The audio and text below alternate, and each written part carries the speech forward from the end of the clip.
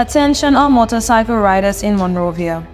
The Liberia National Police has introduced a new policy to ensure your safety and the safety of others on the road. Let's take a look at the key requirements you need to comply with to ride on the major streets of Monrovia. Here guys, so LMPC, the first step is to make sure that your bike is fully registered the Ministry of Transport. That will enable you to run around freely and make your bike legalized. No time. As a motorcyclist, your license is mandatory. It proves that you are qualified to ride a motorbike. Please visit the Ministry of Transport today to get your license.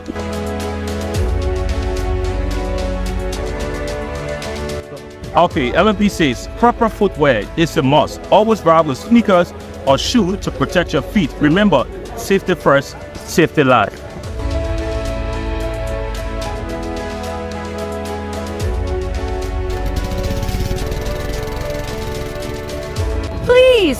Don't forget about your landing fit. It is important to be careful in tracking your motorbike. Insurance is crucial. It protects you and others from accidents. Make sure your motorcycle is insured.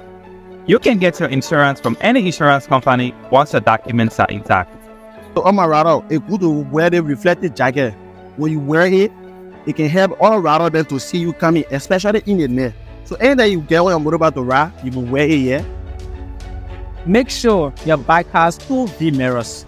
They are very, very important for seeing what's behind you and to avoid accidents. Stick to one rider, one passenger.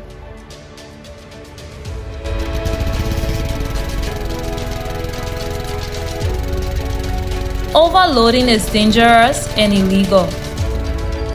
Always wear a helmet and carry an extra one for your passenger. Safety first. Follow these guidelines to ride safely and responsibly. Let's make Monrovia streets safer for everyone. Remember, compliance with these regulations is not just about following the laws, it is about protecting our lives. Ride safe, ride smart. A message from the Liberia National Police.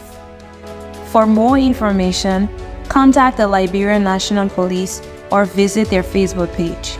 Together, we can ensure safer roads for all.